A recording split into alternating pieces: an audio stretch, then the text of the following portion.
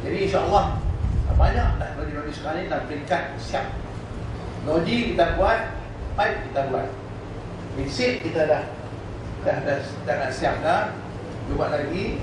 Kena belah pimpinan apa apa pimpinan tunggai. Sebab tadi di Pulau Muda pun kita sedang siapkan dan di kawasan Padang Sanai dah ada ada ayat tapi soal 15 hari bulan ni 15 hari bulan di sebulan lagi semua ayat-ayat ke Bukit Hitam dan ke Yusuf Utara akan start. Lah ni kita ada bersilat dengan Yusuf Utara Depan ni tak ramai orang 30 ribu ya. Tapi bermain ayat macam kebau kubang-kubang dia nak pincak ayat. Jom keling ada orang ni. Kita kata hampa ni? Bukan pakai banyak sangat pun. 30 ribu pakai sehari 15 juta. Berapa juta kita hari? Tu 320 juta seorang pakai. Dia kincah 320 juta. Cuba bayang tengok 300 gram. Ayah apa pakai ni? Kalau budak kecil tak apa ada kincah ni budak kan? Dia bubuh dengan padang golf dia lah Dia bubuh dengan hotel dia Dia bubuh macam-macam Kena ayam kita lepas pi tak ada masuk. Dia kata ada bojok Dia dah bojok Dia kata kita tak ada ayam InsyaAllah 15 bulan ni saya nak beritahu kita akan salah situ. Kita siap semua orang. Cuma saya takut esok ni takut dia kena angin amar. Stroke.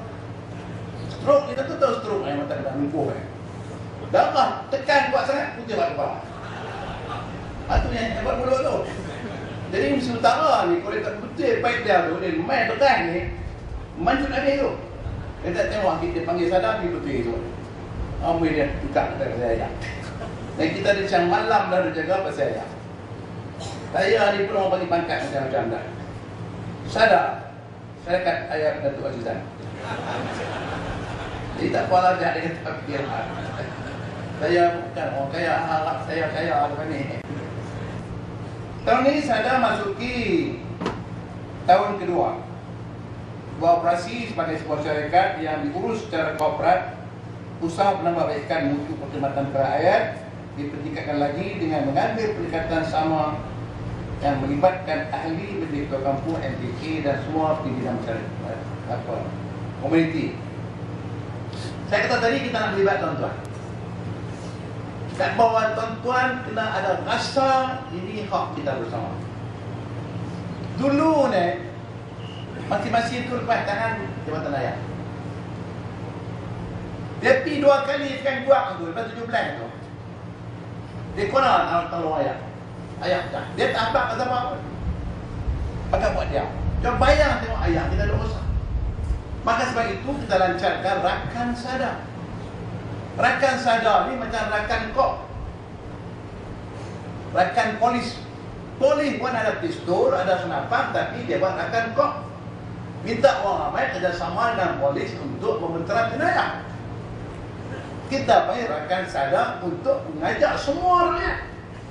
Terutama tuan-tuan yang dipilih sebagai MKK ini untuk memberi kerjasama dan sama-sama menjaga harta awam ini dan hak masyarakat kita berhubung dengan masalah apa-apa yang dihadapi oleh rakyat berhubung dengan masalah rakyat tak ada api tak apa. Pasal muslim. Tak ada yang tak boleh tambah-tambah. Allah di taman Dulu tak apa, di kampung pergi belakang korek. Lah nak korek kemana lagi dia mampu. Tanah orang. Maka sebab itulah kita panggil tuan-tuan pada hari ini. Mari semua menteri ketua kampung untuk berperanan menyampaikan maklumat pada pusat maklumat dan pusat info berkaitan dengan permasalahan berkaitan air tempat. Pecah dia beritahu. Ayat tak sampai dia beritahu. Ayat kering masih apa? Pasal apa? Kami ada dua hari tak main awal sampai. Maka boleh kita pergi dan kita tambah lori sadar sekarang ni menghadapi kemarau ni 20 lori ya, 20. Kita tambah lori. Untuk mendengar laporan-laporan daripada rakyat. Maka orang yang kita harapkan adalah tuan-tuan. Maka saya sebagai pengurusi saja Rasa bangga atas inisiatif yang diambil oleh Ketua Pegawai Negeri Sadar Datuk Azli bin Din menubuhkan rakan saya. Dan pihak kerja negeri kita mengharapkan bahawa MKK dan rakyat bersama-sama membantu membangunkan negeri demi mencapai musuh kita sudah sejahtera nyaman untuk semua.